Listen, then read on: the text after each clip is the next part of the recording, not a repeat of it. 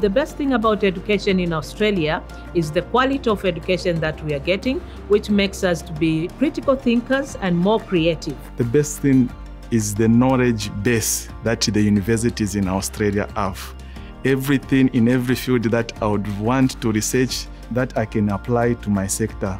The number of institutions that are there is so prestigious and I really wanted an international experience. All the um, resources that you need to study is at hand for you. There are any questions you need to answer your uh, ask your lecturers, they are ever ready to help you. The exposure to the best practices in the health sector.